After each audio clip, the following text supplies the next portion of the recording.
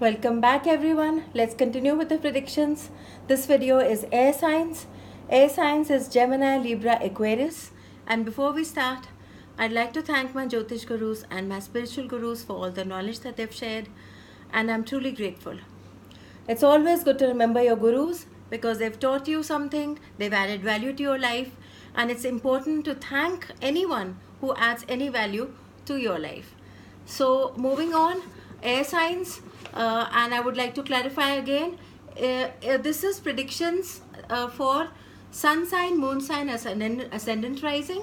And uh, you need to pick out what you think is uh, useful for you. These are general predictions. These are not personalized to your chart. So see what works for you right? Let's start with gemini.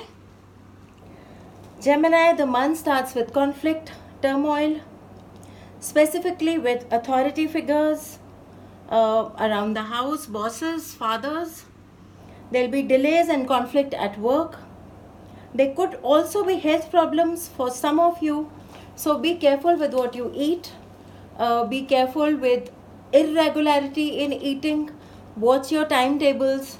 Remember to eat on time. And uh, as far as conflict is concerned, you know, this month is starting at, at in a way that suddenly things are going to be disruptive. You will not realize how fast they got disruptive. That is the energy the current placements brings to you. When Mars and Rahu comes together, you cannot expect peace out of it. So you need to calm down. It's a lot of action is happening around Gemini this month. Uh, probably you need to look at it in a way that conflict comes, disrupts, leaves, but what is left is the positive part for you to rebuild, for you to reorganize your life, throw out the rubbish, see what is valuable, and you will uh, be happy that it all happened this way. So, this is a very, very crucial month for Gemini. At the end of the month, I see resolution coming in for work. You may get a new opportunity. Uh, those of you who are uh, looking for change of job or for opportunities at work, end of the month uh, onwards is a good time for you. And uh, I would say that there may be uh, erratic ideas coming your way right now in the middle of this month. Don't go for it. Hold on and you will get more organized towards, uh, you know, after the 22nd, 23rd of June. My advice to you would be even if the results are not coming right now, keep going with things and after about two months or so, you will see that things have picked up and you're finally getting the results of all the work that you've been putting in all this while. So in case you are working, you may feel that uh, you're not happy with the place, you're not happy with the work that you're doing. This is the time to keep moving forward and maintaining pace. That is very important. Don't let uh, your work pace get disrupted. For Gemini, this is all I have. Let's go to Libra.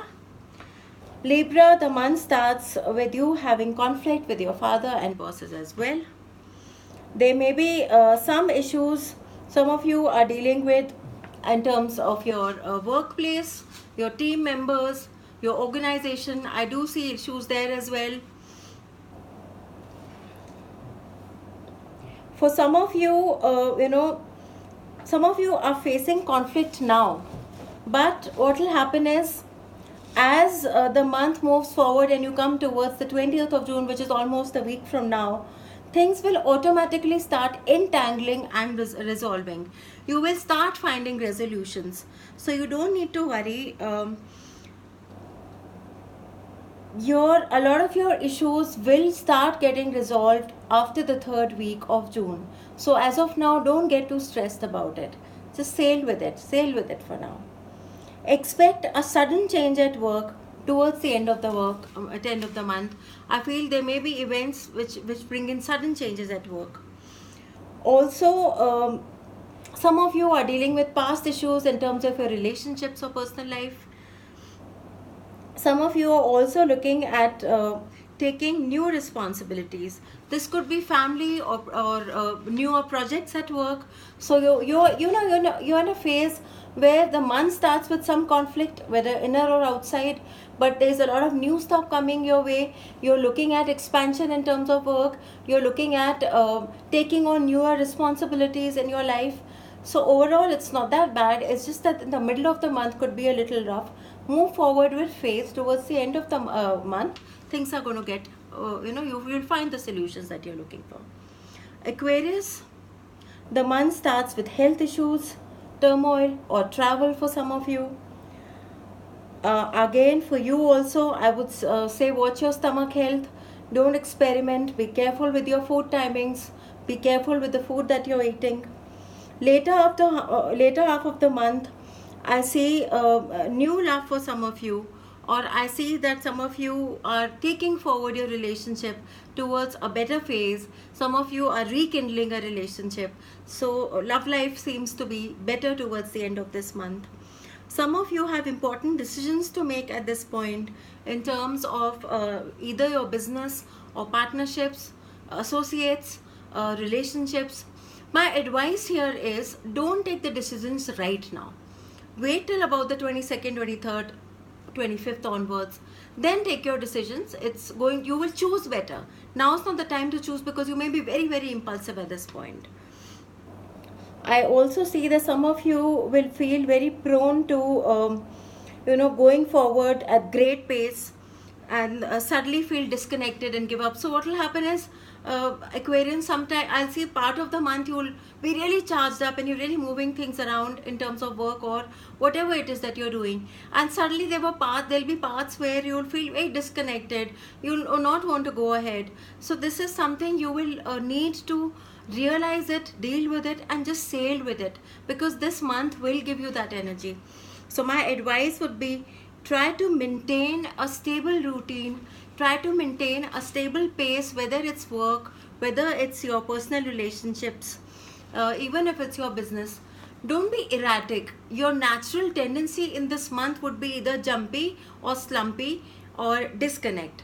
So try to find a balance and uh, the days you're feeling really disconnected do do something that involves only you. Maybe sit down and write forward uh, your business projects. Maybe spend some time on your own the days you're feeling very jumpy go ahead go work. And of course for travel this is a good month as well for you because it will balance you out. But important decisions hold on. Uh, don't take them in an erratic impulsive way. Give yourself time till the end of this month and then take those decisions. I'm sorry that a lot of you might have felt that uh, predictions are quite similar for many signs but the month is such it's so lopsided in transition at the moment that there will be some signs that will be more sturdy than the other and there will be a larger part of the zodiac that will get quite affected with the current transit and I'm giving you uh, the advice that I feel is useful for each one of you. Do make use of it. I hope you find it useful.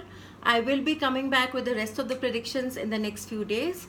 I will also be coming up with some lectures as always and in case you need, have any questions connected to the predictions, some clarifications subject related questions please feel free to email me. My email is always given at the end in the description section in the youtube video. If you're watching this um, on facebook then you can uh, use the messenger. Uh, do connect with me on my youtube channel because i won't be uploading uh, all my lectures on facebook. So thank you very much for watching and i'll be seeing you again soon and I wish you all the best. Remember, sail this month by staying calm. All the best.